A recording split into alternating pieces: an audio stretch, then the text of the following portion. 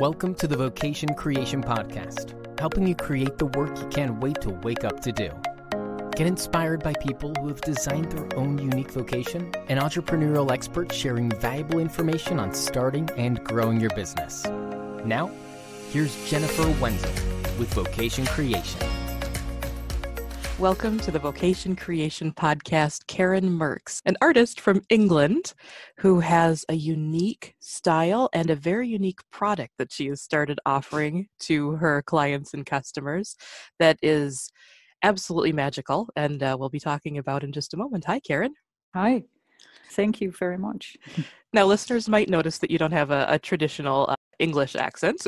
Where did No. you grow up? I'm originally from Holland, the Netherlands, and they still hear it that I'm not from here, and especially the the area I where I live, Essex. Yeah, it's it's Greater London. So living in the city isn't really possible. If you want to live uh, affordable here, like in any in every big city in the world, like London, Amsterdam, etc., then you need big pocket. Ah, yeah. Not ready yet. yeah, artists aren't known, generally speaking, overall for being the wealthiest people on the face of the earth, right?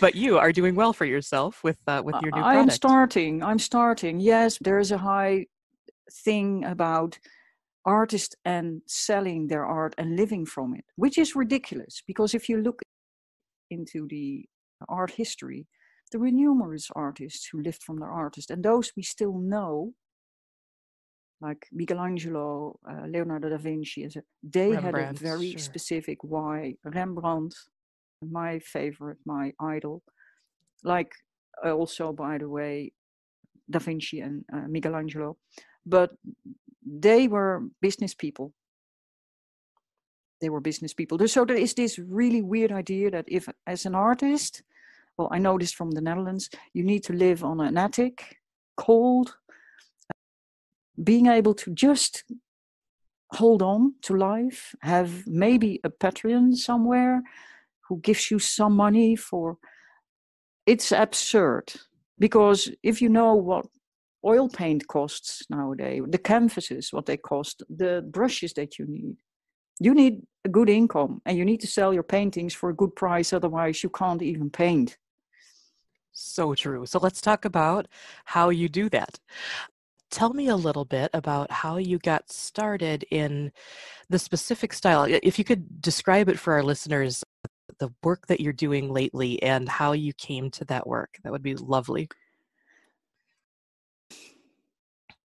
i paint portraits as a story which means that i'm highly intuitive i listen to people to their story and i start with a meditation before I go into the portrait itself. And I can see more than that they see within themselves. So I touch upon their authenticity. And how did I came to that? I was always fascinated by portraits. Uh, So are many artists. But there was something that attracted me, and I found out that after I hit rock bottom, and it's just two years ago, I knew that the only thing that would help me was my art. So what I did was I made a sketch of my self-portrait. I made a self-portrait. I put it aside at first, but the next day I picked it up and I looked at it. I really started looking at it and, and I cried because that's the first time that I looked at myself in a way that I never had done before. And that was so profound. And I realized that I had painted portraits of other artists and other people. My own self portraits were always distorted somehow. I thought that's artistic. That's I can do that because I'm an artist. No, it had nothing to do with that. It had to do with not being able to look and at myself and see who I am for what I am. So it really deeply touched within me. It touched my authenticity. I got reconnected with who I am. And from that moment on, I knew my why. That's why I paint portraits. And your why is one of the most important things of a business. And people don't buy my portraits because they're beautiful portraits. They buy or they commission me for portraits because of my why. Oh, that's beautifully put.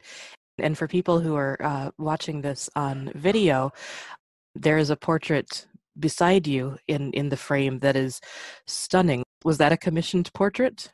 No, it wasn't. I'm working on a project that's an educational project where I want to have African people and people of color from the LGBTQI plus community, especially women. I portray them, make their story, and I want to make some type of letter with it f- for lessons. It's for education to teach children and teenagers about LGBTQI plus that it is very normal, that it is not only for us as white people, but also for people of color. We're all the same. People need to know that. And I've heard too much that uh, my friends were told you can't be gay because you're black. That's something only white. And I had, this is ridiculous and this is notoriously wrong. So I decided, okay, I'm going to make a project that is around that. And this is Nina Simone. Of course, that's why her face looks familiar. yeah, this is Nina Simone. And I absolutely love this portrait. I just not read, not quite finished, but I'm close and um, it's so vibrant and there's just soul yeah. shining straight it is out. uh, exactly. Uh, yeah. Uh, i wanted to catch her soul because this is very she was bisexual although her most of the time she had a very um, abusive relationship with a man. She was also bipolar mm. and she went to the netherlands and friends took her to the hospital and they diagnosed her there. She got medication and was told like over time, your memory will deteriorate, your cognitive abilities, and your your physical abilities, like playing the piano. She is a classically trained uh, piano player, um, and that is horrific. That is horrific. But if you see her like this, this is such a vibrant, beautiful person, and, and, and I, I feel that I have really dived deep into it. That's another thing. Sometimes I make this and it takes me time to portray because they don't want to get portrayed. And some people just are like, here I am, do me, pay me. And uh, of course, this is from a photo, but I can do live sessions too. Yeah. So I know about anatomy, etc., of figure, face, etc. The whole bone structure. Mm, I can tell. I can tell by look. I'm I'm not a trained artist's eye, but but yeah, I just love that painting. and I've seen some of your other work since we talked previously uh, before this call, and I know that you've branched into a new way of presenting your work and a new way of working with people who commission you for art, and that is through a book that includes uh, this really unique. I, have never seen this before from an artist. It's typography. It's basically a portraiture of a person in typography from the quotes yeah. that you draw out of them. Is that a good way to describe it? That is it? a good way to describe it. Yeah, I'm I'm also a graphic designer, and typography was always something that I loved to do. And before computers existed, I made things in typography that was cutting, pasting, making composition, coloring, going to the copy shop, then make tons of copies, then started cutting again, and etc. So you made these layered typographical compositions. Yeah, that's why Photoshop existed because people were doing that in real life, and then they figured out a way to create it digitally. exactly. Yeah, and I like the handwork to be honest. But what I do is I'm working on a commission now, and people tell me their story. And as persons, the longer you live, you have we have millions of stories. Some tell me their life story. Some tell me a part of of, of something that really, yeah, like was a, important for them. Mm-hmm. Like a, a um, defining moment in their life. A very defining moment in their life, whatever. I record that and then I transcribe, but I do not edit. I need the raw emotion. When I have transcribed it, I'm going to type it up.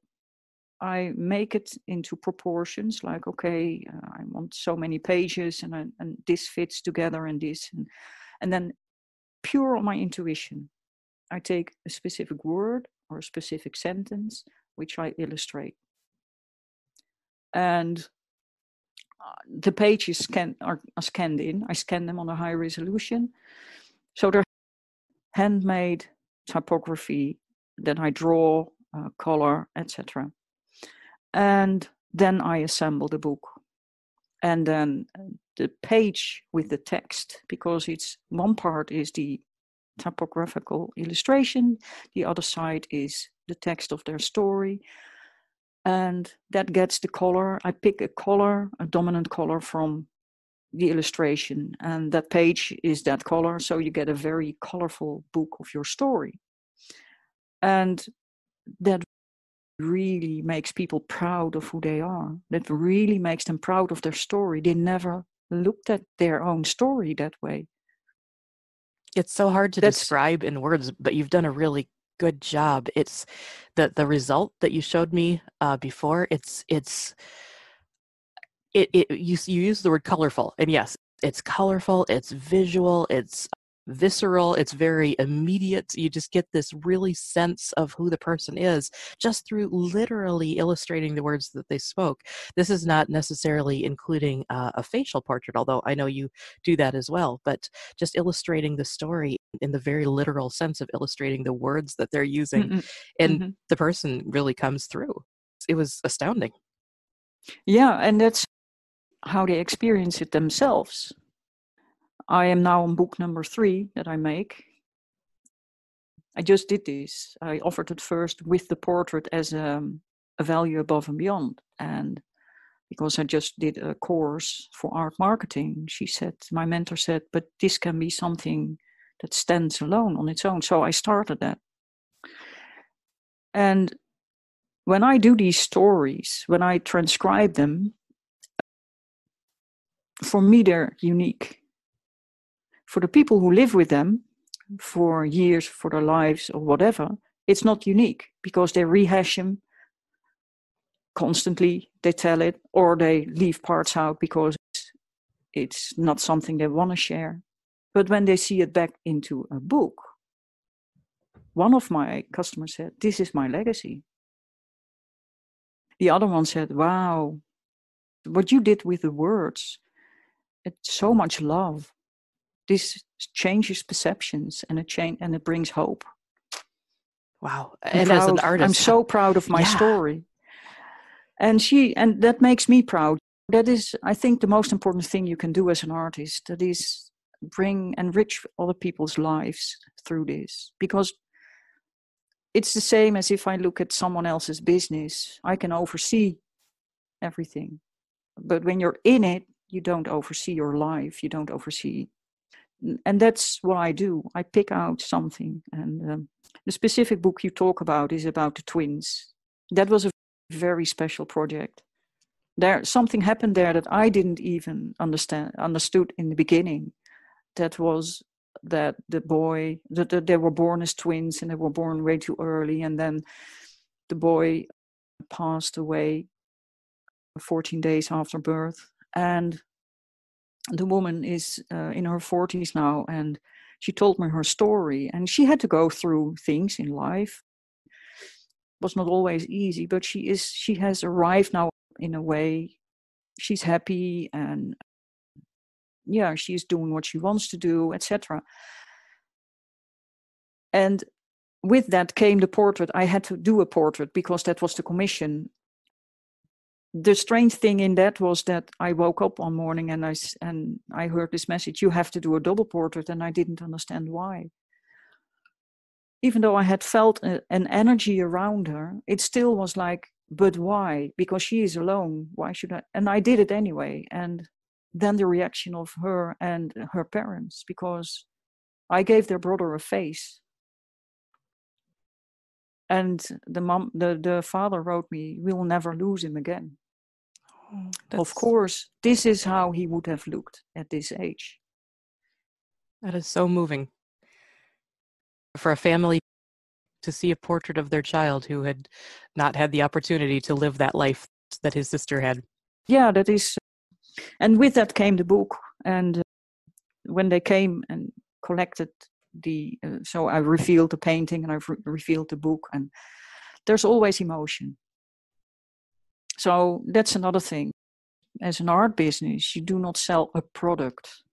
You don't sell painting on canvas. I don't sell words in a book. No, I sell emotion, It's just to- totally different. Totally different. So when they came here and I revealed it, there were tears. And the first night she said she took the book with her to her bed. It was next because she had to read her own story. Wow. Wow, I've never read my own story and that's and see it in this way. Yeah. Are you are you quite looking forward to increasing this particular uh, part of your artistic output? Is this something that you're very that you're really looking forward to growing?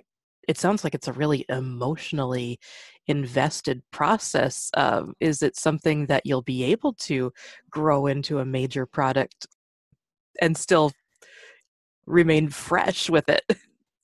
Uh, yes, I have many ideas that I want to do. I like the whole process of handmade anyway. Of course, these books are printed on demand. I, I make the book, I design the book. It gets to a printer on demand. I get a copy for for review. I, I take out the, the typos that I make when I have typed it up. That happens. I see if the settings is okay, if it printed okay, and if all is, I order it again, and and then send it to the customer, or they come with me uh, at my place and I reveal it. I definitely look forward to it. I'm working c- currently on a very difficult project, but a very important project, and that is about survivors domestic abuse. I work with two girls who live in America. They are from the Dominican Republic. And they went through hell and backwards. They were um, sexually abused uh, in their youth, but also later by their first boyfriends. And they have their own they have their own organization, Time of Butterflies. And we work together so they gave me their stories and I'm transcribing them.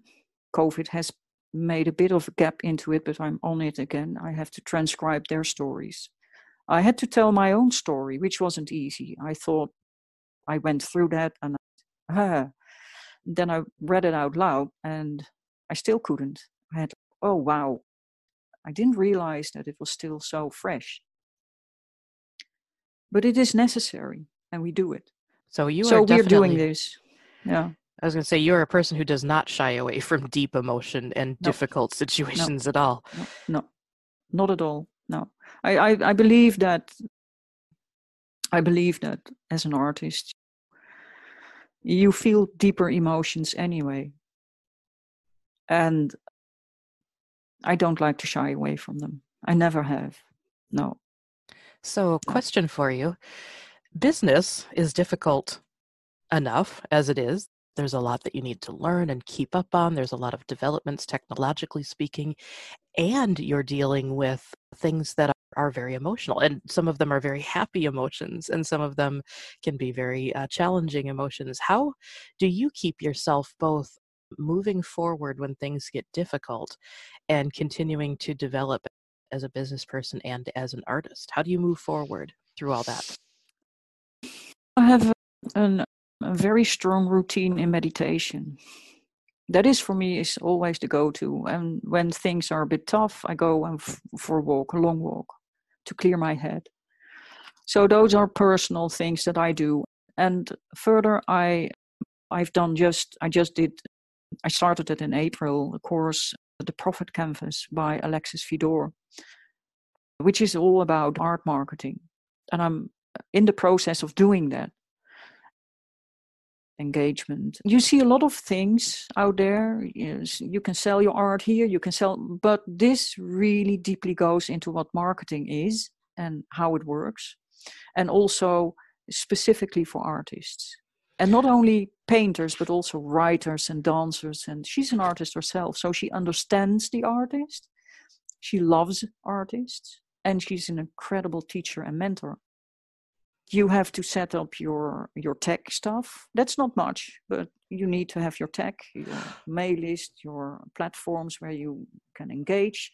You have to make a plan four weeks ahead. You have to uh, write. You have to write your own stories where you have your headline and your call to action etc always you have to find your why. I already had my why but a lot of artists do not have a why. They have but they don't know yet.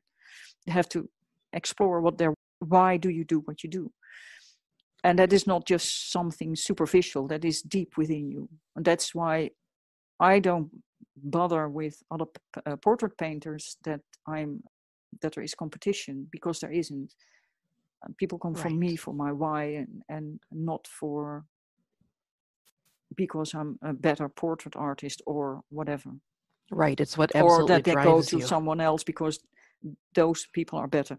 It's not in there is no competition if you have a why. So how i do this i just keep my sanity by meditation. Really is necessary for me. Next to that it's self growth always. And i read about business people who are highly successful. And when you read i just finished a biography of uh, richard branson. And if you read that he didn't become a billionaire overnight. My right. God, he has he he had his struggles and his, but he always kept going, and he always knew, okay, this well, then we have to take another path to get there anyway, and that gives you the feeling like, oh, okay, ah, now I understand. Okay, I will never give up. If it doesn't go in this path, then I take the other path. I take right. a detour, but I will come there anyway. So, keeping the end in mind and just allowing the how you get there to be open to iteration and experimentation and yeah. adjustment. yeah. And that also don't put yourself down when you fail. I made a mistake in the beginning. I was just in this, in this course and lockdown. The whole world just shut down in in a week. And uh, then you have to pivot. And I had like, pivot, okay, what do I do? Portraits, uh, art books. And someone said to me, you, you also are teacher and you have made courses. You have your platform, uh, online art education. Why don't you create something for parents who have their children at home? Fantastic an art idea. class. So I did. I made a, an art class uh, set for seven days. You can do that. You can do it for as long as you want for children age 5 to 80. Oh, that's wonderful. And they create, it's also for diversity. So I made the ocelot, the okra ocelot, the plantain parrot, the beagle bagel, now and all kind of animals that way that you can draw. The tie in with cultural foods. I like that. Yeah, yeah. That's adorable. And I, had, and I had a few people who liked it and who opened my letter. So I did the whole process that I learned with the uh, profit canvas, everything with the forward part sales letters, etc., everything. And they opened everything, but they didn't buy. And I had like, why is this? Yeah, because not all ideal clients. If if you have hundred ideal clients, there will be maybe five people who buy something from you. That's a realization. You think okay, I have my ideal clients. They all buy from me, not because they're not ready or the time is not right, or they can later on, but not necessarily when you want it at that That's a very good point. They may have a competing priority at this point, but as long as you stay in touch, if they are truly your ideal client and they really resonate with what you're doing, it will be the right time eventually. You just have to Exactly. Yeah. Exactly. Exactly. Just remember that yeah. that this exact moment may not be the right moment, but it sure could be next month or next year. That could be, and the and the course is still online, and you can enroll when whenever you want. The price isn't high. I used a very specific COVID price. So it's easy to do it. It's fun to do it. You can do it together with your children. You can do it with your granddad or your grandma or your grandparents or alone or with your friends, whatever. But it is fun to do. what what um, supplies do you need to to take this class and to oh, create everything you have in the house? I, I, if you have uh, colored pencils, take colored pencils. If you have felt tips, use that. If you have paint, you can use that. You nice. need paper. But yeah, I think know, everyone has it, paper. take it from the printer. And a pencil, of course, you need to, to draw. That sounds great. I'm going to have to give that a try. So, so it's that's a, a, thing. So I that was my pivot, and it didn't work out. And I had now what? So I just this is a strange time. It is. And the only thing I do at the moment is I emphasize on the art books. Also the portraits because they are dear to my heart, but mostly the the, the art books. And I know and I keep engaging with people. Moving forward, and, I know you set a price for the art books and, and your artwork, your original paintings, that if I remember right, you said it was a little difficult to actually accept that your work had that much value, but you are charging a very good uh, price for these pieces moving forward. Can we talk a little bit about the challenges with making those decisions on pricing and what that means? Yeah, pricing is, and, and especially for artists, is always difficult um, um, people tend to look at other artists or what they price or galleries or whatever. What I found out is that as soon as you have sold a painting, when you revealed a portrait, in my case, that was when it started, I revealed the portrait and the book. And I had a price, set a price for it, which wasn't a price that it should have been. People told me, this is not enough by long shot. I said, but my feeling tells me that, that this is good enough for me at the moment. You need to be comfortable with it because if you're not, the energy isn't right. Mm-hmm. So the moment I asked, Do you want to uh, buy it? Of course, even if it had been uh, more than you ask me now that moment I knew also with all the emotions that came with it, I sell emotion. And it immediately raised my feeling that I have a real value to deliver. So for now, an art book on its own without a portrait is 500 pounds. That is about $620 or something. If you want a portrait with it, a portrait drawing in the book, it's about 1000 watercolor is 2500 and oil paintings with art book starts from $3000 uh, pounds yeah great british pounds. Wonderful. Yeah as and i i feel that that is definitely reflecting the value that people do get out of the work that you do because it is such uh, like you said revelatory and emotion based process they buy not only the physical product but the process and the emotions that come with it and i agree Absolutely. that Absolutely. you need to value that just as much yeah. as the raw costs of the canvas and the paint and then just add a little bit of profit that's not how it works no. exactly and there is another thing which is really important and that was i was taught that i'm don't tap into the energy of your customer because you can make something which is really valuable and you think but they can't buy that. Don't go there. It's not true.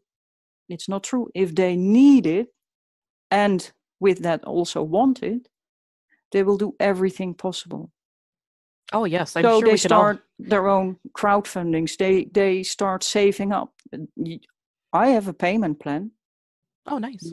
Make an agreement, and you pay me monthly. That's for me. That's recurrent income. Yes. That is all. The, all everything is possible. But as soon as business owner, as you create your things, and that doesn't matter what you create. Um, but if you start to think, oh no, I need to price it this way because otherwise they won't buy because they can't afford it, wrong way to go. Don't tap into that energy. Because as soon as you are thinking that, you get those people. Yeah, That's how I'm- energy works. I'm sure that we is all. that is simply how energy works. But everyone, no matter what product you have, no matter what you do in business, we all have to do with this. Yeah. Yeah. And every one of us can think of a time where we did not have a lot of extra money, but something came along that we needed to have and we made it happen. Not not a, a need such as like shelter or food, but a need as in I see this particular product and service and I know that I need it in my life right now. I had it. and I had it with the Profit Canvas. I participated in the 10 days challenge with Alexis, and I knew if I want to move forward with my business and how to find my ideal clients and how to do this, at, etc., then I need this. This is what I need at this moment. And she has a payment plan, so I can do that. That's wonderful. Otherwise, it wouldn't have been possible. The universe always has your back. so That's let's what just I say think, anyway. Let's say you had an extra uh, 10,000 pounds that just dropped into your lap with the caveat that you had to spend it to market or um, advertise your business. How would you spend that 10,000 pounds? I would definitely go a level up with Alexis Fedor. She has a, a group where she uh, personally, uh, privately mentors. I would absolutely love that. And that is about six months. I think she has extended it for this time because of COVID also for a year. So people who are in it now have a year. Otherwise, it's six months. And the other part for Facebook advertising because that really works if you do it well. And let's just say that your income stream completely stopped, just out of the blue. There's no income coming in. How would you market or advertise your business with zero budget? That's what I do now. Oh, it's not true that I don't have income because I have commissions and I, Yes. but I don't pay for uh, marketing Right. because I have a mailing list that is uh, free for t- till so many uh, till you reach a certain amount of uh, email subscribers. I use Instagram, Facebook, and uh, LinkedIn, and I just engage there. You those platforms are free, and you can use them. You when you go into advertising on Facebook, you need money, but you Mm. don't have to. So what I do is organically growing my my mail list, and I do clients because that's that's very important that you have a mail list. Facebook, Instagram, LinkedIn, they can be gone suddenly, and then you lose everything. So when you build your email list, it's not, and people can subscribe on my email list through my website, through uh, Facebook, uh, through Instagram. So It's a very good yeah, point. That's, That's something that you own. That's your own property. that's you're- your own property. Yes, yeah. you're the landlord of that property, not the Exactly, not the yeah. the, the Yeah, lessee. exactly. and th- up until now, that doesn't cost me any money. Which is very it's what important. it's it's what we call organically growing, which takes a bit longer, but putting seeds is very important in this time anyway. I agree. If you had a piece of advice to someone just starting out, perhaps another uh, artist, perhaps a visual artist who has not yet taken the leap to grow, to start or grow their business in the way that they wanted to, what would you advise to someone in that position? Start with your why. That's the most important thing. Yeah. There's so many artists and they use social media and they all drop the art in a big ocean. And then they hope that they will get people f- who find them and buy from them. That's called hope marketing. Doesn't work. And so you have these sites, Saatchi and Saatchi, where you can place your arm.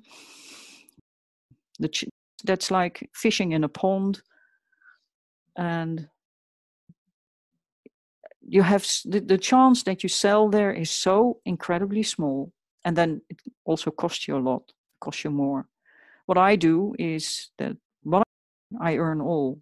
I don't pay 60% or 40% to a gallery owner or whatever. But first, the most important thing is why. Look for your why do you do what you do? and not superficial, driver? not like I'm an artist, I I create and therefore I am. That is so general. That is I can say that, you can say that, everyone can say that. No, it needs to be specific to you. Why do you do what you do? Same like me. The interest of por- for portraits was always there till I found my why. Oh, I paint portraits because it connects me with who I am. And it made me realize that I can stay true to who I am because I am good enough. So that's my why. Well, that's put. that's the most important thing. And really. everybody's why will be different. I spoke to an artist who will also be on this podcast, and she is driven by adding color to the world. She has a very colorful uh, geometric mosaic style with animals, and her work is stunningly beautiful, like yours too. It's very both of your work is very eye catching and i think it is because there is such a purpose behind it. It's not just i'm painting something. It's no, i'm no, painting no. something that is speaking who i am and how i see the world. Yeah yeah so i definitely. I very much believe in that and it's one wonderful to hear you say that. It's a it's a process to figure out what your why is but when you find it what that is who you truly are and that is why you do what you do why you exist so to speak. To do whatever that is and it could be a small thing or it could be a very big thing in the world but if it truly drives you and it's authentic it will show in your work. Exactly and the, and the fun thing is because i'm an artist i'm a classically trained musician i'm an academic and all everything i do is based on my purpose in this life. So I not only make my art the way I do, as I told with the art books of your story or portrait as your story. I always am working. I also am working currently on setting up my foundation, Wings of Freedom Art Center. Like the women I talked about, I work, I collaborate with. They have times of uh, time of butterflies, and um, working on my uh, Wings of Freedom Art Center for people who survived domestic well abuse.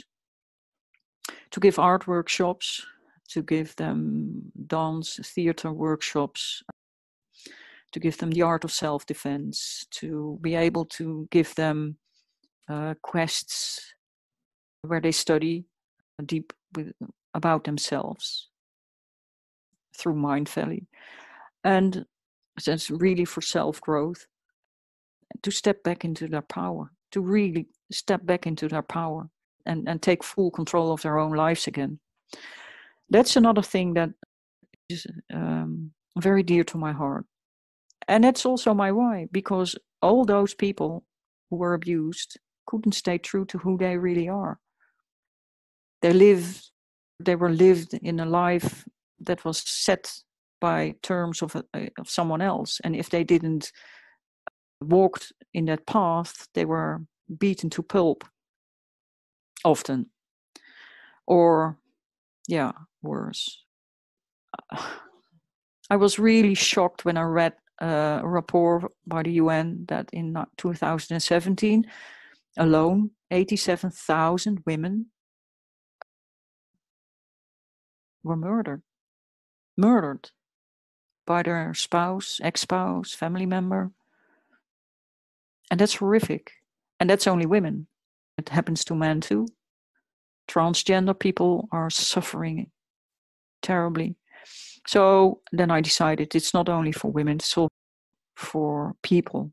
That is women, men, LGBTQI plus, trans, but also children, because children mm-hmm. suffer a lot. Yeah. Excuse me. So I'm so moved by what you're saying, and it makes me think of that very famous quote that you uh, have to be the change that you want to see in the world and you are living and breathing and creating that change, which is uh, quite powerful. Thank you. It's at least what I want. I read a very important quote that we are not here on this planet for ourselves. We are here uh, to touch the hearts of other people, to touch other people. That is the most important thing. And once you realize that, everything in your business, your business is, my business is who I am. It's what I wake up for in the morning very early. It is, and, especially when you have your why, because then you know why you do it.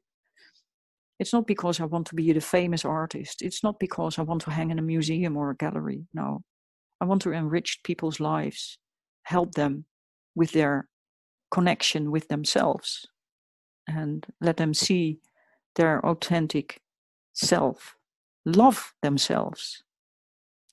This is all some very heavy uh, emotional stuff that we've been talking about. So, just really quickly to uh, wrap it up on a bit of a lighter note, I believe very strongly in the concept of your work also being your play as well. And I feel like even though you are dealing with some very uh, emotional topics and purposes in your life, I also get the sense that you feel a sense of play and a sense of fun in your work as well. And I see that come out as well. It's not just, I don't want listeners to get the feeling that Karin's work is dark or heavy because no, it's not. No, it no, is so light and it joyous. Is, it's colorful and that needs to be colorful and it is play.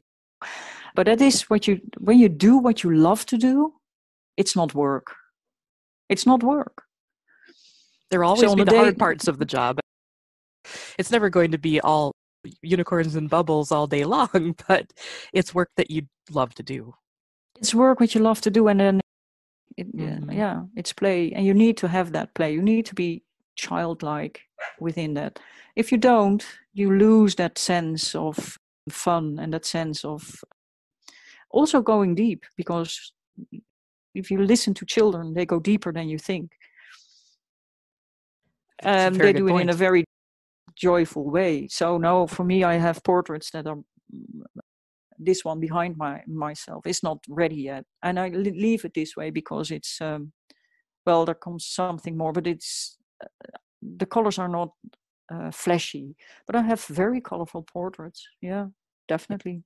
And so, how do you ensure? too, by the way? Oh yeah. yeah that's one thing when you showed me your typography book it was it was so joyous and happy i just got that sense of and and it might be the person that you were doing it for maybe she is a particular joyous or happy person but at the very least your art as it comes through seems extremely colorful happy and hopeful that's my whole but that's the whole idea behind it no matter what kind of story it is, it also always needs to be happy and hopeful so that you can embrace your story and be proud of it. And you don't, you're not proud if you have a dark, a dark book. No, it needs to be uh, colorful. Colors are so important. Colors are so important. Colors and light in our lives. And if you don't see them, but you can see I bring color in your story, even if it's a dark story. I make I make it colorful so that you can be hopeful about it and be happy about it and proud yes. about it. Yeah. And and the work that it takes to come through the other side and be able to tell the story. Yeah, exactly. Wonderful. Yeah. So Karin, where can people connect with you online? They can co- go to a Facebook page. That is facebook.com slash Caliz, Caliz Studios. You can go to Instagram uh, .com Caliz underscore studios. You can go to my website karinmerx.co.uk. Wonderful. And we'll put those links in the show notes so that people yeah, can I will give them to there. you. Wonderful. Yeah. Yeah. Is there anything else that uh, I haven't asked you that you'd like to talk about before we wrap up? Yeah, some people ask me why I want art as a business and uh, why I take the entrepreneurial path because they're not used to that. when it concerns artists. But I think I was always self employed. As a classically trained musician, I was self employed. I had a, a minor job in a music school in, in Amsterdam, but it was so part time. But I had students at home. I played in ensembles. I, I made music theater for children, little children. Later, I opened a graphic design studio for myself. I made all kind of websites and house styles, etc.